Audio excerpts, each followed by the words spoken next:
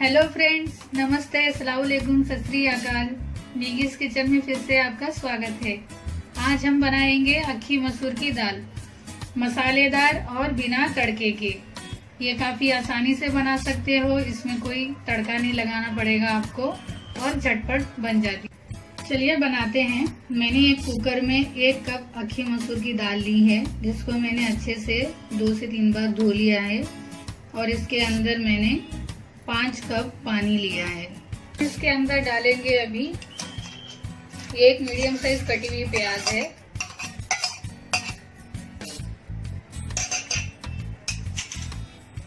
एक medium size कटा हुआ टमाटर। तीन बारीक कटी हुई हरी मिर्च। टेबल स्पून अदरक लहसुन का पेस्ट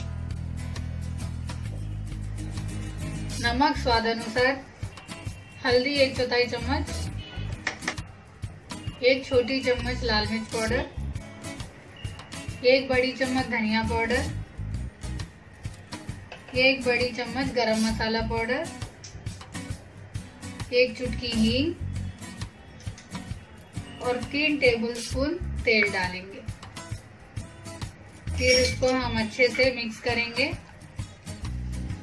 बस हो गया, इतना ही करना है और कुछ नहीं करना है। बस अब इसको आप ढक्कन से, ढक्कन लगा दीजिए कुकर का और इसको सात सीटी आने तक गैस पे रख दीजिए। सात सीटी लगा दिए हैं और कुकर का गैस भी अच्छे से निकल गया है। चलिए हम इसको चेक करते हैं।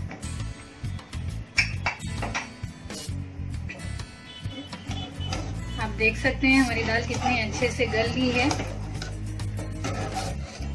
इसको आपको थोड़ा सा घोटना है।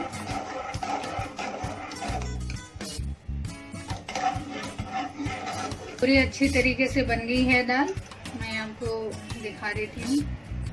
आप देख सकते हैं, ये बिल्कुल मैश हो गई है। अब ये बिल्कुल तैयार है। हम इसको बॉल में निकाल लेते हैं। बिना तड़के की अक्खी मसूर की दाल एकदम तैयार है बनके। इसमें से काफ़ी अच्छी खुशबू भी आ रही है। आप ज़रूर बनाइए। अब मैं इसमें थोड़ा सा धनिया पत्ती डाल देती हूँ। आप देख सकते हैं, ये बिना तड़के के और मसालेदार और अच्छी टेस्टी दाल बनी है। आप ज़रूर ट्राई कीजिए, बनाइए और खिलाइए। आपको मेरी ये रेसिपी पसंद आई और मेरा वीडियो आपको पसंद है तो आप मेरे वीडियो को ज़रूर लाइक कीजिए, शेयर कीजिए। और मेरे चैनल को आप ज़रूर सब्सक्राइब कीजिए। जब भी आप सब्सक्राइब करेंगे, आपको एक बेल का नोटिफिकेशन दिखेगा, उसको आप प्रेस कर दीजिए, जिससे मैं जो भी नई वीडियो पोस्ट करूँगी, वो आपको जल्दी मिलते रहेंगी। अगर आपको कुछ भी पूछना है तो आप कमेंट सेक्शन में पूछ सकते हो। फिर मिलते हैं एक और नई रेसिपी के साथ। तभी के लिए धन्यवाद।